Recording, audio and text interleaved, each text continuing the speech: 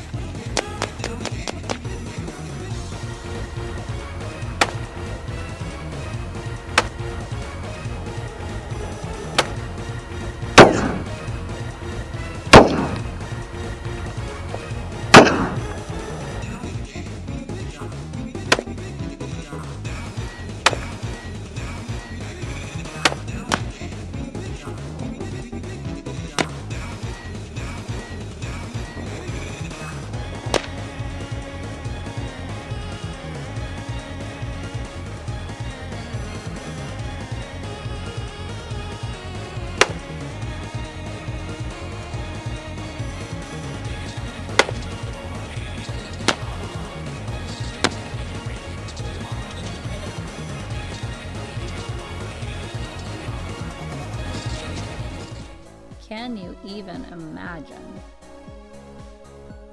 Hope you guys enjoyed watching us hit that bar and that fruit. I can't believe how much damage that round does. I've always wanted a bar and I've always wanted a 30-06 and finally it's here. And if you guys ever see these Aguila mini shells, you gotta try some. I'm so glad we bought some, especially if you have a DP12 already or a KSG or if your buddy has one, just head them up, just ask for it. You can even shoot them if you have a Remington or a Mossberg. Just make sure you get the adapter.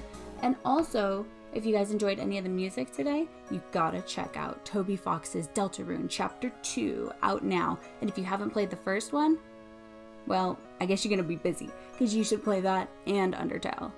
What do you guys like to shoot at the range? Do you save any special loads for your trips? Drop them in the comments. Uh, and if you want to hate on any of my California featureless setups, go ahead. I'm gonna go see a gunsmith anyways. It'll be cool. All right. Thank you. Please subscribe. See ya.